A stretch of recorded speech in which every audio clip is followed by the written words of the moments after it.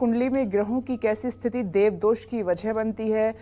देवदोष लगने पर हमें कौन कौन सी मुसीबतों और मुश्किलों का सामना करना पड़ सकता है? आइए जानते हैं।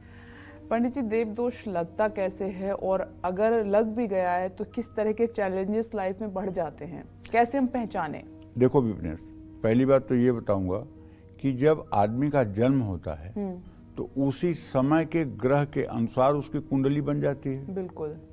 तो ग्रह दोष या पितर दोष या देव दोष जो भी बनेंगे कुंडली में तो उस समय भी मौजूद रहेंगे। तो इसका मतलब तो ये नहीं है कि उसका जितना जीवन है हर समय वो दोष प्रभावी रहेगा। अगर हर समय वो दोष प्रभावी रहे तो मनुष्य का जीवन तो नर्क हो जाएगा। बिल्कुल। और ऐसा होता भी या हुआ भी नहीं देखा गया है कि कोई ज़िंदगी भर उससे परेशान रहे। उसके परेशानी का समय होता है। जो ग्रह दोष दे रहा है जब वो दशा महादशा अंतरदशा में आएगा तभी उस दोष का प्रारूप प्रकट होगा। और जब वो ग्रह दशा महादशा अंतरदशा में नहीं आएगा तब उसका प्रा, प्राकट्य नहीं होगा। वो दोष होते हुए भी व्यक्ति निर्दोष रहेगा। जब उसकी महादशा आएगी जब उसकी अंतरदशा आएगी, जब उसकी प्रत्यंतर दशा आएगी, तभी ये घटना घटेगी। जैसे ज्योतिष का एक नियम है, लग्ने सनौ कर्म गते शशांक शुक्रेक्षिते वा यदि बंध भोक्ता। इसे लग्न में शनि हो, लग्न में शनि हो दसम भाव में चंद्रमा हो, और शुक्र से देखा जाता हो, माने शुक्र चौथे भाव में हो तो देखा जाता हो। तो ऐसा आदमी जेल जाता है। तो अगर ऐसा किसी के कुंडली में योग है तो क्या कहोगे आपको बचपन से बुढ़ापे तक जेल में ही रहेगा? ऐसा तो नहीं ना? लेकिन हाँ जब शुक्र शनि और चंद्रमा इन तीनों का कहीं से मेल बनेगा दशा महादशा अंतरदशा में तो उस समय वो जेल जाएगा। पक्का? अगर जेल न भी गया तो थाने से ही उसकी बिल होगी लेकिन थोड़ी सी गिरफ्तारी की तलवार उसके ऊपर लटकेगी। लेकिन अब ये कह देना कि नहीं ये तो योग है बंधन योग है ज़िंदगी भर बंधन रहेगा। ये नहीं आप कहते हैं ना ग्रहों की चाल बदलती रहती है। हाँ ग्रहों की चाल बदलती रहती है ग्रहों की दशा बदलती रहती है। इसलिए ज्योतिष शास्त्र जो है ये फलित ज्योतिष शास्त्र देश काल परिस्थिति के अनुसार इसका फलादेश करना मुझे चाहिए तो ये चाहिए। समंदर जैसा लगता है। समुद्र से भी कुछ ज़्यादा समझ लो। समुद्र से भी कुछ ज़्यादा समझ लो। देश काल परिस्थिति का अगर आपने ध्यान नहीं दिया तो आप उपहास के पात्र होंगे।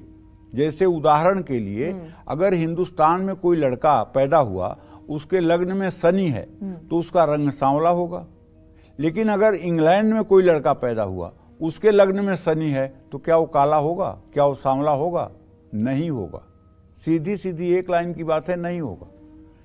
बंगाल में कोई पैदा हुआ, उत्तर प्रदेश में कोई पैदा हुआ, और उसके कुंडली में मंगल ग्रह है तो वो पाँच फुट चार इंच का होगा।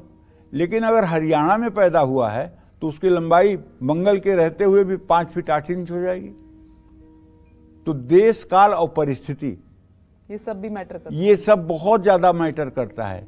इसलिए एक सुयोग्य ज्योतिषी को चाहिए कि वो देश काल परिस्थितियों का मूल्यांकन करके तब किसी फलादेश को करे। जैसे ज्योतिष शास्त्र में पहले कहा गया है नौ वर्ष की आयु में विवाह होगा सात वर्ष की आयु में विवाह होगा ग्यारह वर्ष की आयु में विवाह होगा तेरह वर्ष की आयु में विवाह होगा। वो बात अगर आज आप कहेंगे तब आप तो उपहास के पात्र हो जाएँगे। बिल्कुल। ग्यारह उपहास बच्चे होंगे पात्र नहीं जेल हो जाएगी। ग्यारह बच्चे होंगे सत्रह बच्चे होंगे चौदह बच्चे होंगे ये कोई बात हुई? तो कहने का मतलब उस समय जिस समय ज्योतिष शास्त्र की रचना हुई थी उस समय देश काल परिस्थिति की जो स्थिति थी उसका अध्ययन करके हमारे मनीषियों ने उन भावों को दर्शाया है। लेकिन आज आप देश काल परिस्थिति को ध्यान में रखते हुए उसके अनुरूप अगर आप अपने अनुभव जन्य फलादेश करेंगे तो उससे आपका मतलब कि यश बढ़ेगा और सामने वाले को भी फ़ायदा होगा। जी। तो कहने का आशय ये है कि मैं ये कहना चाहता हूँ कि देखिए जिन लोगों की कुंडली में बृहस्पति नीच राशि का है या सूर्य नीच राशि का है मकर राशि में बृहस्पति हो और सूर्य नीच राशि में हो जिन लोगों की कुंडली में ये दोनों ही ग्रह पापक ग्रहों के प्रभाव में हों तो ऐसे लोगों को देवदोष लगता है। देवदोष का बुरा प्रभाव सबसे पहले संतान पर पड़ता है। ऐसा माना जाता है कि देवदोष का बुरा प्रभाव तीसरी पीढ़ी तक पड़ता है। संतान का जीवन देवदोष के कारण पीड़ा से भर जाता है, उनको कोई सुख नहीं मिल पाता है। देवदोष के प्रभाव के कारण कुछ लोगों को धनहानि होने लग जाती है।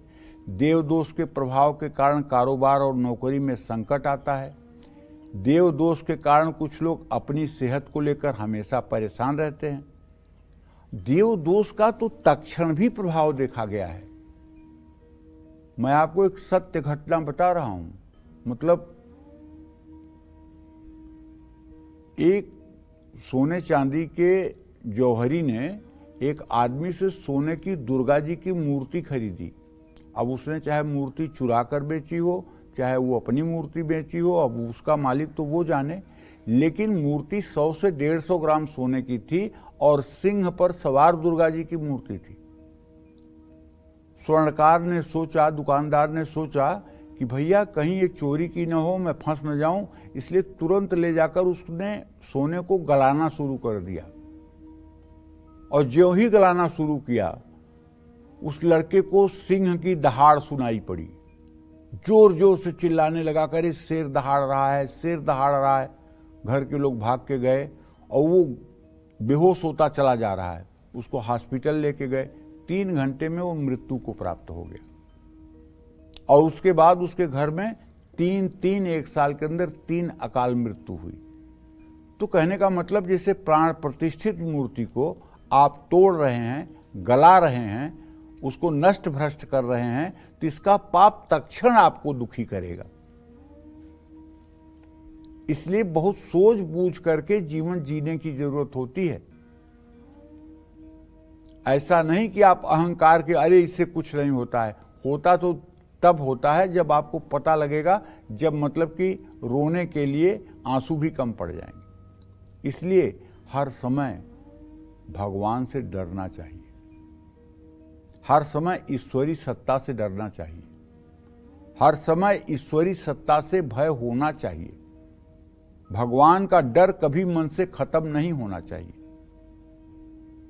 ये बात अलग है कि गीता में भगवान ने लिखा है कि मेरी दो प्रकार की सृष्टि है, एक दैवी संपदा की, एक आसुरी संपदा की।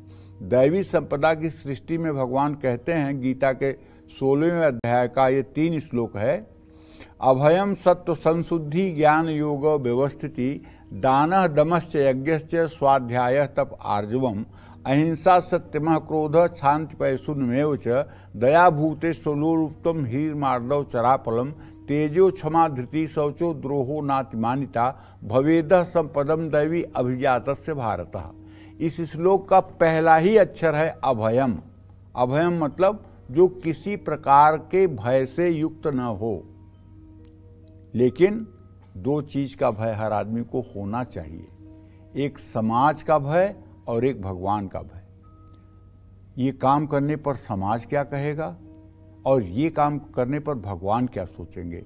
ये दो बातों का भय अवश्य होना चाहिए। अगर भय नहीं होना चाहिए तो मृत्यु का भय नहीं होना चाहिए। भय नहीं होना चाहिए तो गरीबी का भय नहीं होना चाहिए। भय नहीं होना चाहिए, मान अपमान का नहीं होना चाहिए। आप सतमार्ग पर चलते रहिए, चाहे मान अपमान मिले, चाहे समृद्धि मिले, चाहे दरिद्रता मिले, उसको आप स्वीकार करते रहिए। लेकिन प्रभु को सर्वोपरि मान करके, समाज को सर्वोपरि मान करके, तब आप अगर जीवन जिएँगे तो सचमुच में ये जीवन आपका सात्विक होगा। जय माँ बिंदवासिनी